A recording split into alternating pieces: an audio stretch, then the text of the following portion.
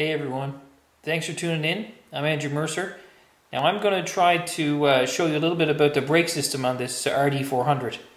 I have a, I've had a problem with the brakes with the rear brakes on this bike a little while ago and I repaired the problem, but I thought it might be something might be something that you'd like to know how it actually worked and how I did it. So I'm going to go back over what I did to repair a problem that I've already repaired. Okay, so let's give it a shot. Okay, so as you can see, the RD400 has a, a rear disc brake. Now, this this the caliper on this disc is a is a two piston type caliper. Now, what that means is that there's like a there's a puck about this big on this side of the caliper, and there's another one on the other side of the caliper. Now, these pucks or these pucks have to be able to move, or pistons, I'm sorry, have to be able to move back and forth freely. So when I depress the the rear brake pedal, the pressure, the hydraulic pressure through this brake line forces the calipers or the, the to, to squeeze in on these pistons or pucks, squeeze in snug and pinch the disc. And that's how it works. Now, a problem happens in a lot of these old bikes where uh, old crud and rust and dirt gets caught in around the uh, the seal on the, uh, the the the piston inside the caliper, the pistons, and that old dirt keeps the piston from retracting enough. So it, it keeps a little pressure on the disc. And this causes the disc to drag.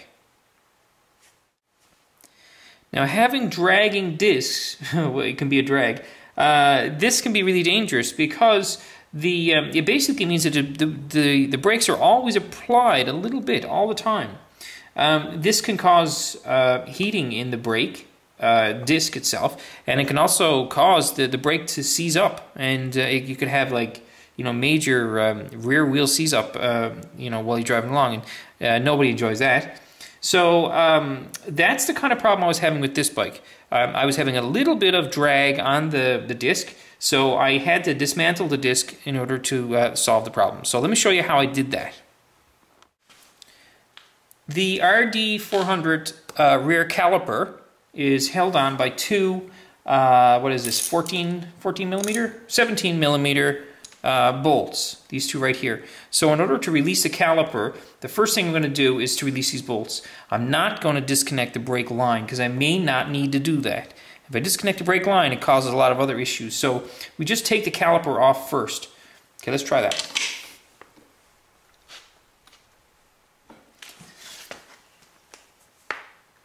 You want to have your brakes tight.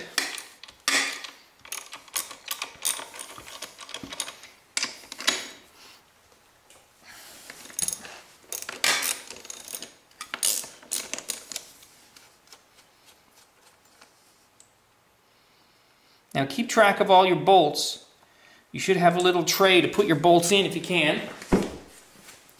I've got this little magnetized tray that I put my stuff in. It works really well. You can stick it onto the bike if you need to. And that way you won't lose any of your bolts. Or your washers. Okay, so there we go. That's the second one. Okay, so now we're going to we're going to um, negotiate with this disc, this caliper. Sometimes these can be a little bit tangly to get off, but this one's not too bad. Now I'm just going to move the camera around a little bit. I want you to see this. These are the two brake pads themselves. I lifted it up a little bit so you can see. There's actually two here, one for the back and one for the front. And they have, you can see it has a little indicator on it. Now what that means is it shows how much brake wear you have. As these indicators get closer and closer to the disc, you know you need to replace your brake shoes. Now these are the your brake pads. Now these are actually pretty close, so they're almost ready to be replaced. In fact, I will replace them while I'm doing this bike. Okay, so now let's remove the caliper. Now I'm going to try to catch my my pads because I don't want them to fall out on the ground. Okay, so there we go. My pads have come out. Here's the first one. And you can see here that this is the uh, the fiber that goes against the, the brake pad, the disc, I'm sorry, itself. And you can see there's not a lot left on this one. This one is, is pretty close to needing to be replaced. And the other one is a little thicker. Now that's a, that's usually a common sign when you have your brakes dragging because it meant that the one that was thinner was the one that was dragging. Generally, that's what that means. This one's not bad. but I'll replace them both. So let's haul this off now. So the way you do it is you tip it up and be careful of your of your brake line up on top here because you don't want to kink anything. So be careful of this here. Just keep an eye on it.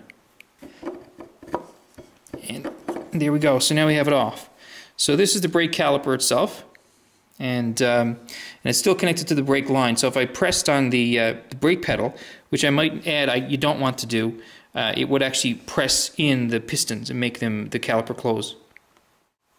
Okay, I've locked in my focus now, so I think this should be good. Okay, so so here we go. Uh, this is a little dirty, so I, I would uh, what I did was I uh, I cleaned it out with some with with some uh, brake cleaner and and try to use brake cleaner like uh, you buy the proper stuff in the Princess Auto or Canadian Tire or somewhere like that. So buy brake cleaner and and gave it a good spray, cleaned it off with a rag and a toothbrush and a little pick I had to clean around the edges, and I, I tried to get as much as I could out and then uh, tried to clean it up as much as I could. And then I started trying to work it with screwdrivers.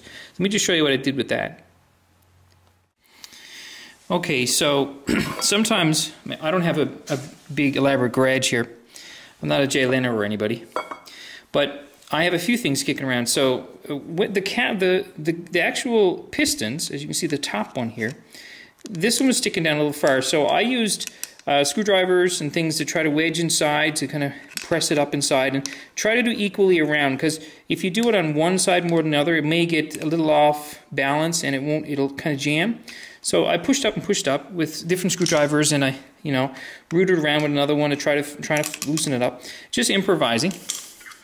And then the last thing I used was I actually had this uh, just piece of I don't even know what this is. It's just a little piece of metal. And it was it was a great size because it fit right in, and I was able to uh, force the, um, the, the the calipers, sorry, the pistons right back into place again, and they popped right back in perfectly.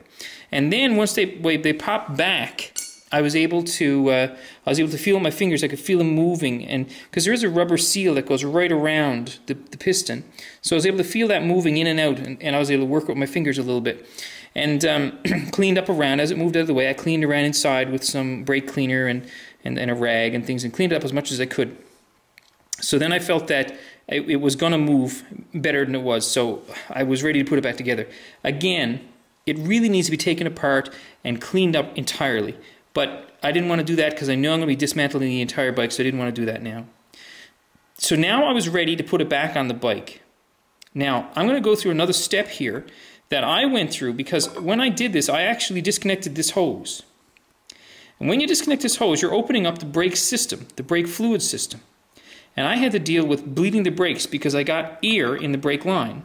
So this is quite common, but there's a way to fix it. There's a way to do it so you can get the air back out. And I'm going to show you how to do that. It's a little bit complicated, but uh, anybody can do it. So let me show you that next.